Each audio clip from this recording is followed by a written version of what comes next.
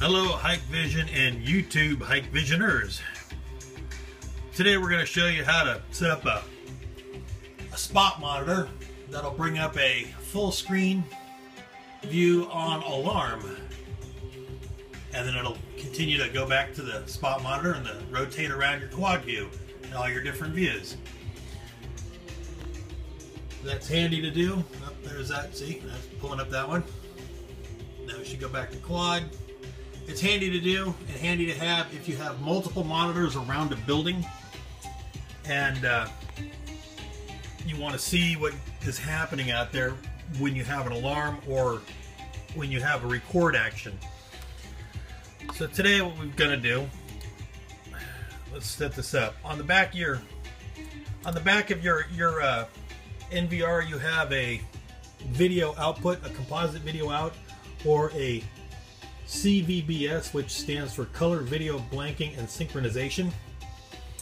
That is marked on the back of your machine, depending on which model you have. This here is a DS7716NI. Let's get started on how we set it up. So we go into our menu, and a system configuration. Then we go to live view.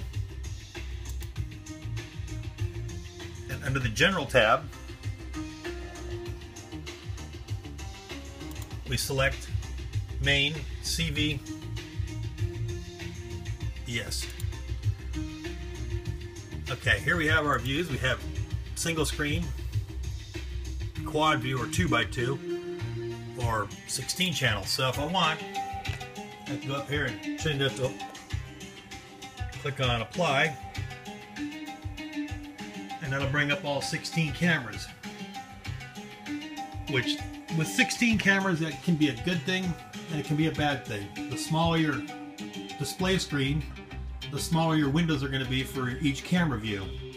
Well and if you have a really small monitor like a little desk monitor or something then you're not going to see any information. So for what I've got the quad view is correct for me. Now we're back to quad view. Okay. But wait a minute. It's not rotating. Let's see here. Okay, we have our dwell time set for five seconds.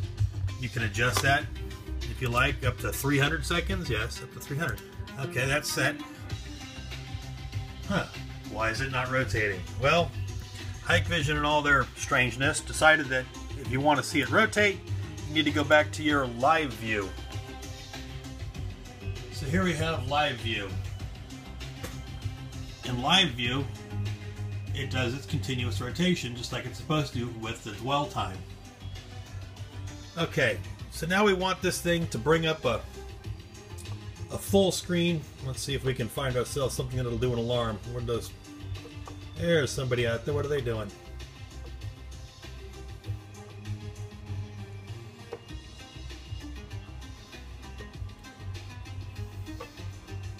Lighting up a blunt.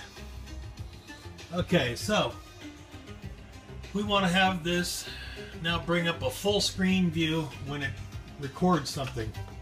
Since I have a PTZ with facial detection, there it brings up the there it's bringing up the full screen monitor of it. As long as it's showing an alarm, it'll show it'll show them and what they're doing.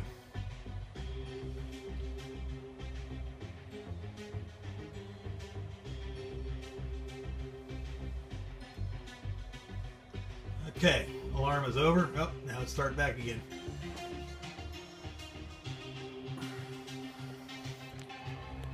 Okay, so to set that up, we go into menu, then the camera setup. In camera setup, you click on VCA, which is Video Content Analysis. Video Content Analysis, we select whichever camera we want to use and have that set up on. So once you've selected your camera, you'll click on the set button.